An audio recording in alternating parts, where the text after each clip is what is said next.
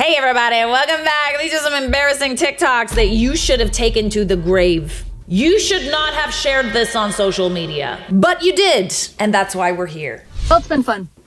It's been really fun getting to know you oh, all. Oh, I love regret her. to inform you that Teresa Rowley has passed away.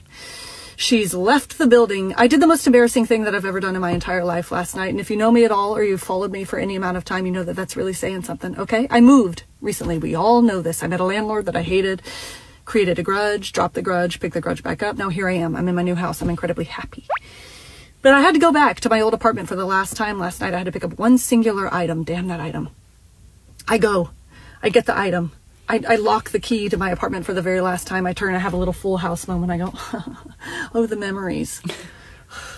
I'm walking to my car, and who do I run into but my sweet, gorgeous, wonderful little neighbor? We'll call her Susan, and her little dog, Puppy.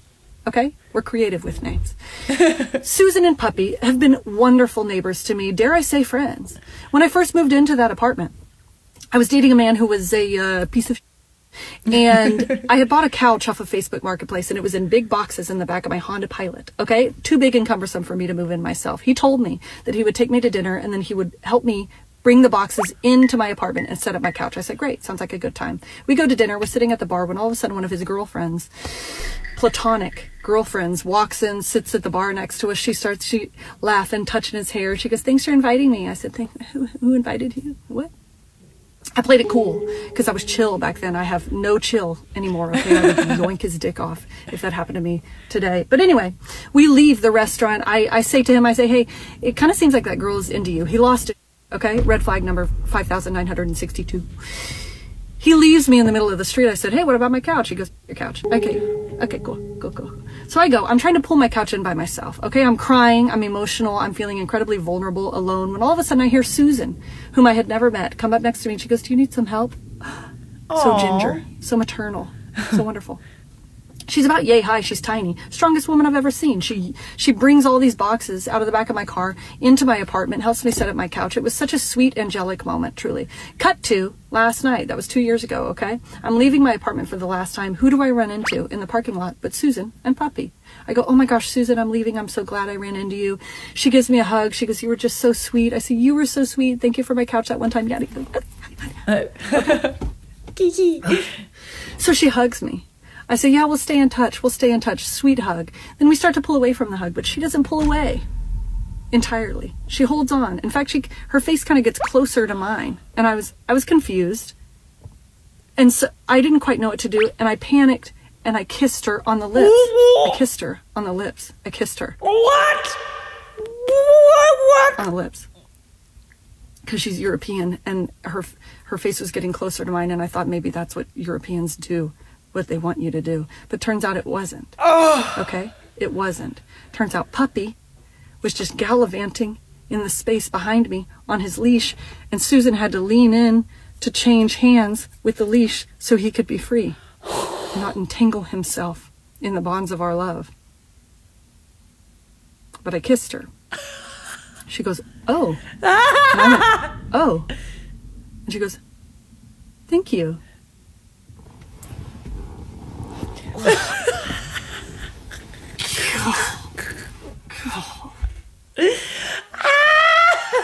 Poor Susan.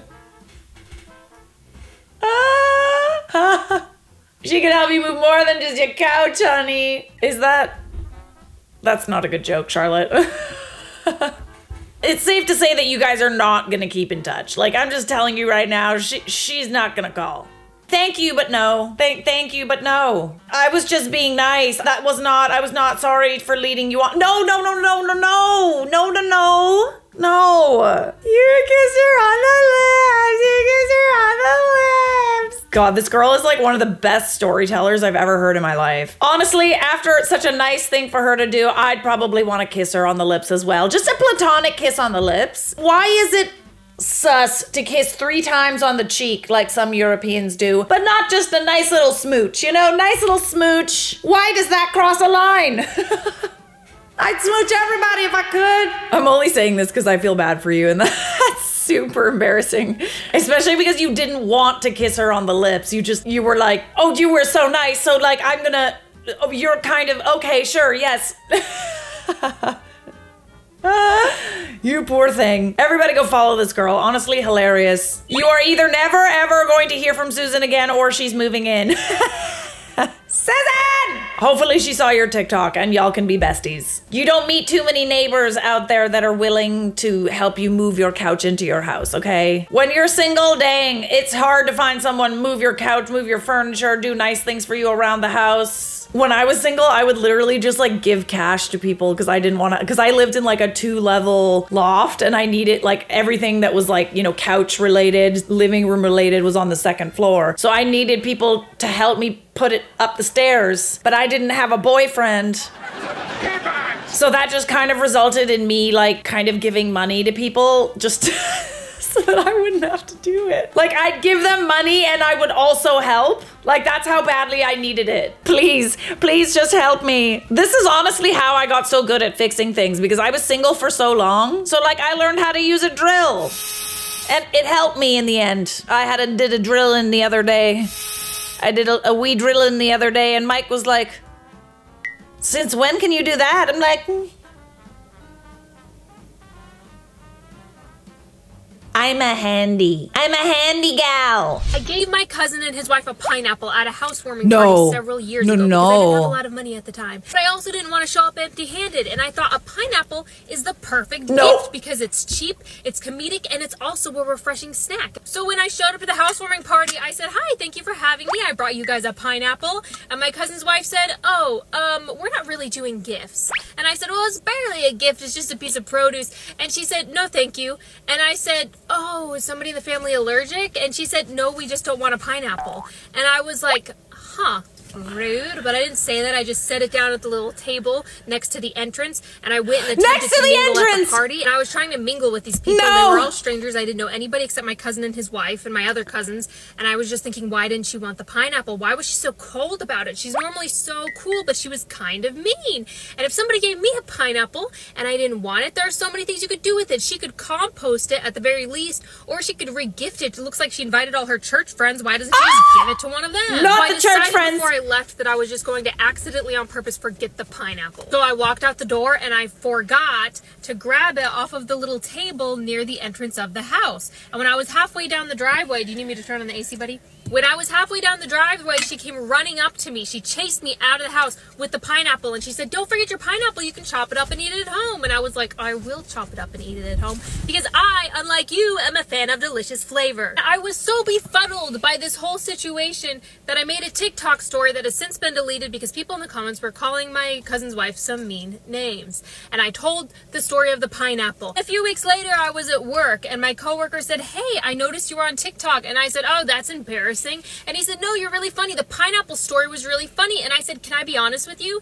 That video got half a million views. And I know I put it on the internet for everybody to watch, but I don't understand why it got half a million views. I didn't think it was that funny. And he said, do, do you not read your comments? And I said, oh, no, I love myself. I never read the comments. And he said, you might want to start.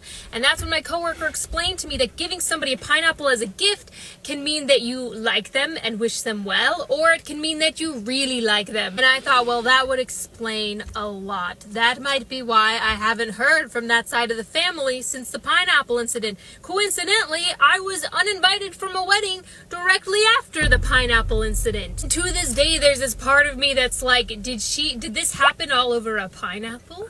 Was this just because she misunderstood my gift? It was also not the first time I brought somebody a pineapple as a gift when I couldn't afford to bring them a nicer gift. So I've stopped doing that. I've stopped showing up at people's houses with pineapples. I think I'm gonna switch to watermelons if that doesn't have a double Better, meaning. better, yeah, better, better. You left it at the front. Girl. Okay, all right. She didn't really explain it. It's not just, oh yeah, someone like likes you, likes you. It's like, I'm Barb and you know Bob. Hello. Welcome to our love den. Well, clothing is optional. but stuffing is not. Oh! I hope you're hungry. Barb's breasts are out of this world. Oh, Bob. You know I'm right. you're a swinger. It's actually an upside down pineapple. Pineapples on cruise ships and on land are used as a secret symbol for swingers to identify each other. A pineapple badge, piece of clothing, or stuck on someone's door can mean they're looking for a partner swap or using it as an invitation to a swinger party. I'm Barb, by the way. And I'm Bob. Welcome to our love boat. Ooh, ooh. Her clothing is optional. but fun is not. It's the church friends for me. It's like she thought you wanted to do a little swappity swap, a switchity switch. I've never heard of this pineapple meaning before. I'd just take the pineapple. I mean, you could take the pineapple, but everyone might think it means something. I honestly didn't know about the pineapple thing until very recently. Like, you know, when me and Mike started doing those Barb and Bob sketches? Oh, That hot dog was so big, I'm sweating. I can't believe I finished that fast. Yeah, that's when I was gifted with the knowledge. Pineapple is used in hospitality. Upside down pineapple is a different story. Okay. Dang, all of this like fruit jargon that I had no idea about. All this fruit metaphors. Oh my goodness. Can't we just eat a fruit and be done with it? Okay, I had my biggest date fail yesterday. So I I can't even finish this. So I'm meeting up with this guy for drinks, and this is like our first date. We've never really talked or anything. So we sit down, and the first drink I get is an Aperol spritz, and there's a straw, and I'm drinking out of the straw, and we're chit chatting. I know what were talking about. And he's triggered. So he says something really funny, and I like leaned back. And when I came back forward, my nose, the straw, the straw went straight up my nose. Oh! But when I came up, it was still stuck in my nose. But the most crazy part is I tried to like play it off. Meanwhile, this straw's sticking out of my nose. And I like pulled it out. And he's like, did that just happen? And I was like, awkwardly be like, so I'm obviously not using the straw anymore. Why not? Kid, who cares? I couldn't get away from it. So I'm just like putting the straw down, starting to drink my drink without it. How did it so perfectly go in my nose? Not even hitting any spot. I have a small nose, and it went straight up my nose, but stuck in there and came back Ow! up with my head. Okay, so please tell me there was a second date, bestie. Please. I love a good overshare. I love an overshare. Why not? That's what social media is for. Let's all embarrass ourselves for fun on the internet. Why not? It's not like we have jobs. It's not like we have children that will someday see it. It's not like our parents are probably learning how to use social media. Who cares? If anybody ever asks you, I went on a date recently with a guy and he was like, Oh, what are your hobbies? Word of advice to the girlies. If a guy asks you, What are your hobbies? Please, please don't tell him a hobby that you recently started that you're not good at. Because I just started drawing again and I was like, Oh my God, he's gonna be so impressed. And I was like, Actually, I uh, do art in my spare time. And we met at a coffee shop. So I had my iPad with me and he's like, Oh my God, do you draw on your iPad? And I was like, Yeah. And he was like, Okay, well, show me some of your work. Okay, um, let Oh me gosh, find show us, good. show us, show us. Oh, there's um, there's this one. It's not finished yet. Oh, God. Oh. yeah, I'm really good at like realistic portraits. Oh God. I don't know if you've heard, but hands are pretty Oh, hard to oh, draw. on. I wow. mean, look at this. The most awkward part is he was just trying so hard to be nice and like really supportive, and he was like, "Oh wow, oh wow, yeah." Like, I'm so awkward. This is why I'm single. Okay, I mean, listen, you got the foundation somewhat correct. Like, I see that we're doing some, like, oh god, the abs. like, I can kind of see the resemblance a little bit. Hey, at least he was supportive and he didn't tell you that you're absolute garbage. Does anyone remember that video that we looked at that was like this girl showed a guy that she was dating that she could draw a circle, like a perfect circle, and he was like so unimpressed by it. He was like he was he was really really putting her down about it. At least this guy was supportive. I mean, come on. Could have been worse. Actually, could have been worse. It's like when I tell people I sing and then I take the mic and I sound terrible. I did that most recently and this girl was like, Oh, that was like mostly good. Dead. I have died. I have died. Here's the thing we don't care if the drawing is good or not. We just care that you have a passion to do it. It all relates back to effort. I also feel like you could have said, like, I'm actually like learning how to draw, but you also already knew how to draw. This is why it's always good to just stay humble and be like, Oh yeah, I sing sometimes. Like yeah, I like singing instead of just like oh, I have um, all this experience, blah, blah, blah. And then people will have expectations, right? Under promise, over deliver, you know? Reminds me of when a girl I dated said she baked, so I asked her to bake me something, and they were the worst cookies I've had in my life. yeah. Word of advice to Girly. If that was his reaction, give him a second date. I'm serious though. Like he was supportive even though your drawings are horrendous. I'm just kidding. You're learning. You're learning again. You're picking it up again. It's not going to be like a hills and mountains, hills and mountains. It's not going to be an easy thing to learn how to draw. It's not. But the fact that he was supportive is a very good sign. Things our exes did, but we still stayed. We can't laugh though. When my nana passed away and he couldn't answer the phone because he was out with the guys and the bar was too loud. On the one night I stayed with my parents, he went out and got and then posted pictures with a group of only women. When he walked into the gym and saw me wearing a Lululemon tank top and then completely ignored me, turned around, didn't talk to me for the rest of the day because it was too scandalous.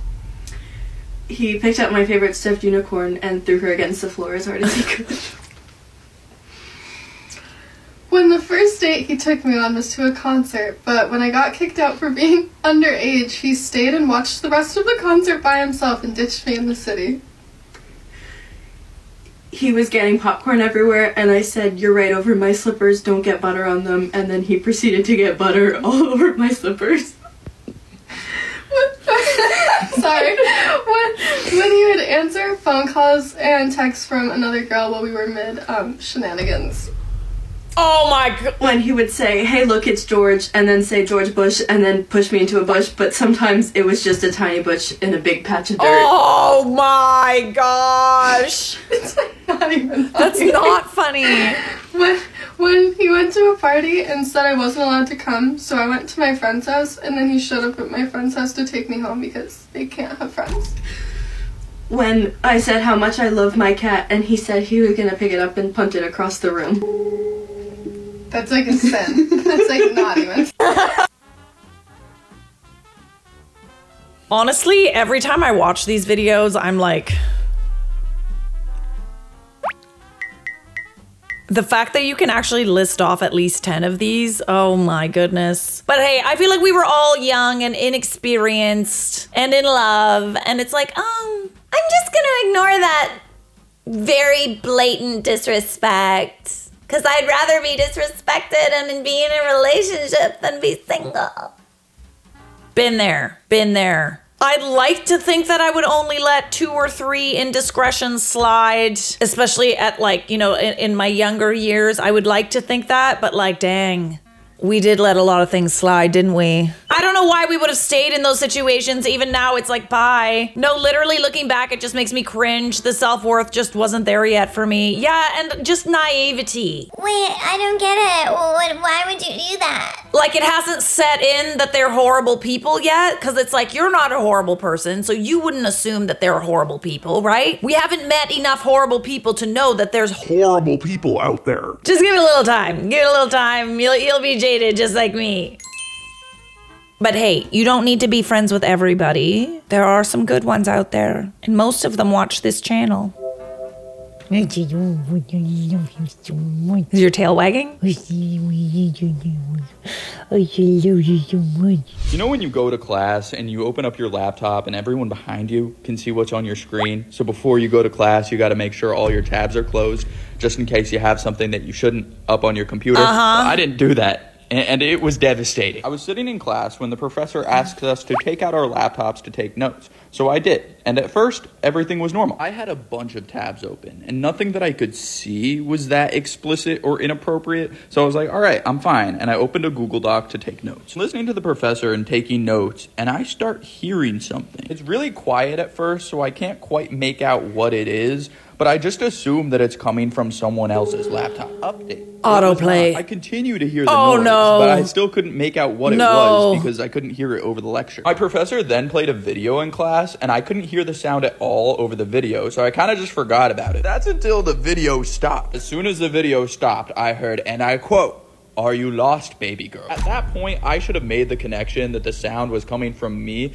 but I didn't. I just thought some random student was trolling the class. The entire class heard the Are you lost, baby girl? And we all just started cracking. Wait. But as soon as we wait. started quieting down, we started hearing more noises. What noises? That definitely do not belong no. in class. My professor chimes in, and he's just like, whoever's playing that, turn it off right now. But the sound did not stop. If anything, it got more intense. Some graphic audio. Oh. A couple uncomfortable moments later, the person sitting next to me taps me on the shoulder and he's just like, Are you sure it's not coming from your laptop? I'm just like, Oh, it's not coming from me. But I still check through my tabs. And bro, I had 365 playing on my laptop. What? And Wait. It was the worst scene to have playing in class. It could have been any other scene, but it had to be that one. Everyone behind me starts laughing because they can see the tab on my screen. I'm just like, oh my god, I'm so sorry. And I pause it. I kid you not. The professor's just like, Mark, do you want to share what you were watching with the class? Thinking to myself, oh god. I was just like, I don't know if I can share that with the class. My professor was just like, you know, it's forbidden to watch those sorts of videos during lecture. But I'll give you a pass this one time. Just don't do it again. In my mind, I'm like, oh god, he thinks I'm watching those videos, not 365. What is Honestly, there's 365? much no difference. They're both very graphic. And for those of you wondering why I was watching that, I, I was bored. Don't judge me. Let this be a reminder. Close your tabs. Hang on a second. I ju- I just doing research. 365, not now. What is it? What is 365? Oh, that looks okay. Yes, that looks saucy. Saucy. Polish erotic romance. Okay. First in cinemas, then on Netflix, where viewers could indulge their most purient interests in private. Oh, best-selling novel inspired by Fifty Shades of Grey. Got it. That's all I needed to know. Okay, so now that we are uh, done with that, now that we all know what 365 is, I was once in class once. This story is not going to go how you think it's going. I was once in class once, and you know, obviously we had a projector, and it wasn't a student who had something sus on their computer, it was the professor. It was a tab that everyone could see on a giant projector. I'm pretty sure it was something very inappropriate, like schoolgirls as well